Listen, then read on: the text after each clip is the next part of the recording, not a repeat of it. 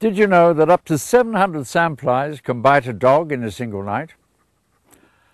I'm Bob Killick-Kendrick, a leishmaniasis specialist, and I'm your host for this second edition of What's Biting My Dog.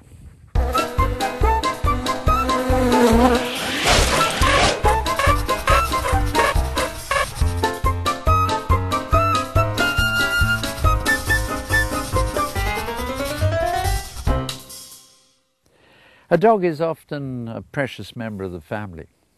It gives you comfort, companionship, fun, and a good excuse to do some exercise. Taking care of your dog's health is part of dog ownership and should be taken seriously by everyone with a dog. A regular visit to the vet for vaccinations, parasite control, and general checkup is standard in many countries. When living or spending time in an area where the sandfly is active, dog owners should be aware of the risks involved. The sandfly can usually be found in warm places, such as around the Mediterranean. It's a little fly, often confused with a mosquito. A sandfly can sometimes be carrying a parasite called leishmania.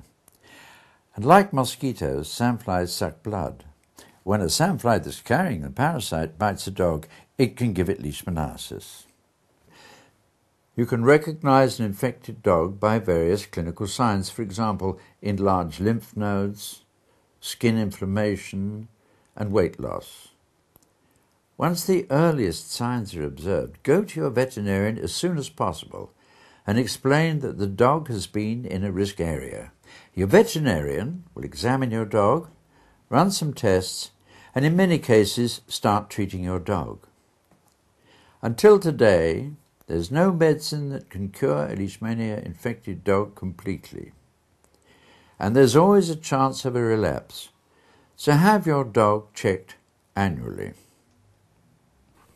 The best way to protect your dog is to ensure it isn't bitten by sandflies. So keep your dog inside the house during the hours when sandflies are the most active. That's usually at dusk. And put a protective collar on your dog that will reduce the chance of sandflies biting by up to 95% for the whole sandfly season. Do you want to know how ticks find a host to feed on? We're going to talk about this and lots of other interesting things about ticks in the next episode of What's Biting My Dog. And me.